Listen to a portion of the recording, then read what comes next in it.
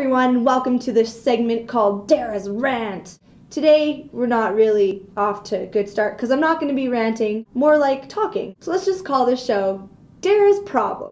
Dara's serious problem. First off, I just got to get this off my chest. It's just, it's going to come up, so let me just quickly say I'm not trying to be like Jenna Marbles. I am super into Jenna Marbles and I've watched all 100 of her videos. I'm the type of person that picks up on mannerisms like it's nobody's business. Gestures and mannerisms. I'll pick it up. If you do it, I'll start doing it. I'm not trying to be someone that I'm not. I just watch a lot of Jenna Marbles. I've kind of picked up on stuff that she does. Pointing out the obvious is obvious. I'm not trying to be like her, okay? She's awesome and she'd actually be the first person to say that she's super flattered by it if I were trying because she's super awesome. So that's actually my mini rant for the day. So this show wasn't for nothing. So back to Dara has a serious problem. I'm sure I've got your curiosity just brewing. I, Dara D, have a serious pizza addiction. No, seriously, I have a serious pizza addiction. I honestly need to check into a pizza addiction and recovery center if that exists. Pretty sure it does. I'll be sitting next to Leonardo and fucking Michelangelo. This is an issue. this is a serious issue. I eat pizza like a lot.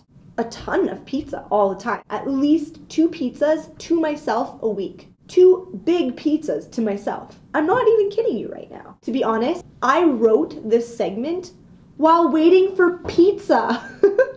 right hand to Cthulhu, I was legitimately waiting for pizza. I weighed myself this morning and it was the scariest number I've seen. And okay, whatever. Oh, Dara, you're not fat, blah, blah, blah. No, shut your mouth. I'm not fat to like most people's standards, but if I keep going down this dark, terrifying path of deep dish deliciousness, I am going to be an elephant. Maybe I'm not fat right now, but I will be. So, this brings me to the solution to my problem. Because I am an extreme eater, I need to be an extreme dieter. What am I doing? The master cleanse again. That's right, I'm just gonna starve myself for like 15, 20 days. That will, you know, clear the problem for 15 or 20 days. Then I'll just probably go back to binge eating a lot of pizza, maybe three times a week.